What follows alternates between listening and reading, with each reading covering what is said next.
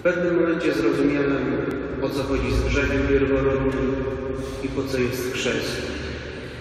Było to jakieś pięć lat temu, kiedy przyjechałem do domu rodzinnego i siedziałem sobie przy stoliczku z moją, chyba już wtedy prawie dwu- dwuletnią siostrzenicą i chrześnicą, która ma na imię Maja.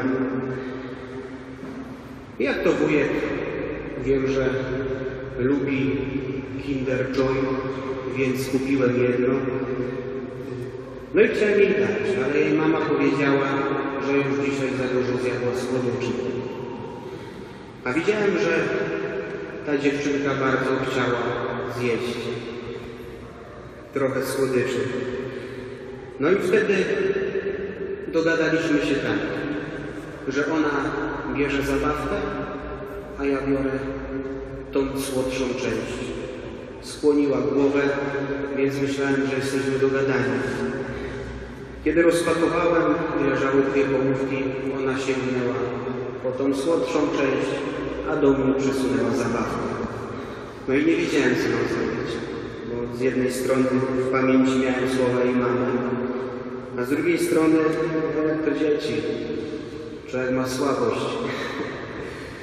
I wtedy powiedziała do mnie tak, może duże słowa powiedziała. Kiedy trzymała tą zabawkę, kiedy trzymała tą czekoladkę, zrobiła tak. Mama, cii. Mówię, no to ładnie teraz. I powiem wam, że wtedy zacząłem pytać Pana Boga. No dobrze, Panie Boże, przecież była ochrzczona, byłem na chrzcie, jestem nawet chrzestnym. No miało nie być tego grzechu pierworodnego, ona już taka mała i dalej kombinuje. A co będzie jak dorośnie?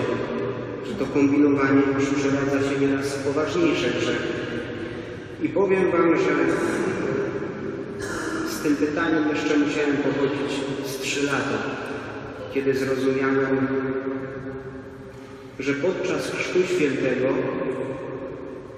ta skłonność do grzechu zostaje, ale dzieje się coś o wiele ważniejszego. W momencie, kiedy woda dotyka głowy dziecka, kiedy woda dotknęła naszych głów, to Pan Bóg powiedział tak, jeszcze nie raz zgrzeszysz, jeszcze nie raz ode mnie odejdziesz, ale pamiętaj, że ja zawsze jestem, że jestem dla Ciebie kimś bliskim i nigdy Cię nie opuszczę. Właśnie to jest chrzest. To zapewnienie Pana Boga, że jest. Jest blisko, pomimo tego, że jeszcze nam się zdarza wiele razy od Niego odchodzić. To jedna myśl. A druga, że ten chrzest trzeba pielęgnować. Można powiedzieć, rodzice na, swoją, na swoje barki biorą, jakby wyznają wiarę za dziecko. Nawet dzisiaj, kiedy siedziałem w konfesjonale, był taki piękny obraz, kiedy weszli rodzice z małym chłopcem i ten chłopiec zanurzył dłoń w kropielnicy. Wyciągnął i nie wiedział, co zrobić. Z tyłu podeszła mama, złapała jego rączkę i pokazała mu, jak się przeżegnać. I to właśnie o taką odpowiedzialność chodzi. Właśnie, że, że rodzice są odpowiedzialni właśnie za wiarę, żeby nauczyć modlitwy i żeby nieustannie pielęgnować obraz Boga, który jest bliski. Ale żeby to się działo w sposób naturalny, to przede wszystkim Pan Bóg dla mnie musi być bliski. Jeżeli dla mnie będzie bliski, to będzie bliski dla tych, którzy są wokół mnie. I też chrzest jest szansą dla nas wszystkich w tym momencie. Ja pamiętam, jak uczestniczyłem w chrzcie chłopca, który miał na imię Wojtek. Ja też mam na imię Wojtek. I powiem Wam, wtedy byłem klerykiem, ale pierwszy raz zrozumiałem, co się dokonało podczas mojego chrztu. No bo nikt z nas nie pamięta, co ksiądz wypowiadał, co się działo, jak byliśmy ma- małymi dziećmi. I wtedy, kiedy usłyszałem to imię Wojtek, to pomimo tego, że ksiądz mówił do tego chłopca, to ja czułem, jak on do mnie mówi, że te wszystkie słowa są do mnie skierowane. Dlatego dzisiaj właśnie mały Ignaś robi nam niesamowity prezent, bo chrzest to jest nasza decyzja. Do pewnego momentu jest odpowiedzialność rodziców, ale od pewnego momentu to my decydujemy. To jest moja decy- decyzja. Tak, Panie Boże, chcę, żebyś był dla mnie bliski, pomimo tego, że nie wszystko rozumiem, pomimo tego, że pojawiają się wątpliwości.